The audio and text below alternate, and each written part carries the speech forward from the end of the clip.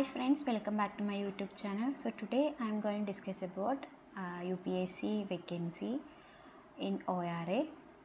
So the post for lecturer in Chinese language and uh, the administration and ministry is Ministry of Defense and department is Directorate of Personnel Headquarters IDS.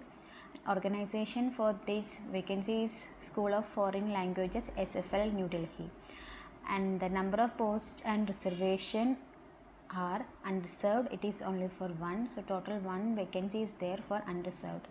And post description is pay scale is up to 56000 50 sorry it is 15600 rupees to 39100 rupees with a grade pay of 5400 rupees. And age is not exceeding 35 years as a normal closing date relaxable for regular appointment central or UT government servant up to 5 years as per instructions. And essential qualifications are educational master degree in chinese language from recognized university or institution and b experience one year experience in teaching or translation from chinese language to english or hindi or vice versa. And not one qualifications are relaxable at the discretion of the public UPSC for reasons to be recorded in writing in case the candidate otherwise well qualified. Desired qualifications are doctorate degree in Chinese language PhD from a recognized university.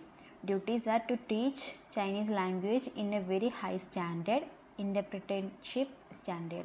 And probation will be in one year and headquarters is in New Delhi and other details like General Central Service Group A gazetted, non-ministerial, the post is permanent. So these are the details regarding these vacancies for the post of lecturer in Chinese. So the last date for registration of this vacancy is 28th April. So please uh, apply for this as soon as possible if you are eligible for this post.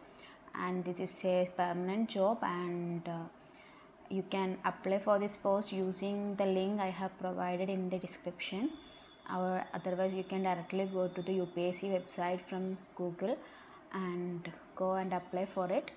And if you like this video please subscribe my channel like share and comment. Thank you